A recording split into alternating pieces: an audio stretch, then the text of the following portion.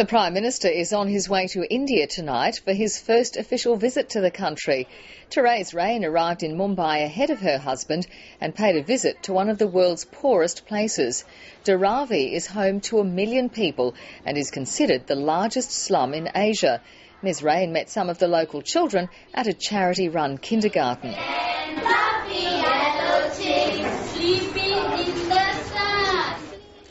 The Prime Minister will visit Mumbai and New Delhi for a meeting with his Indian counterpart.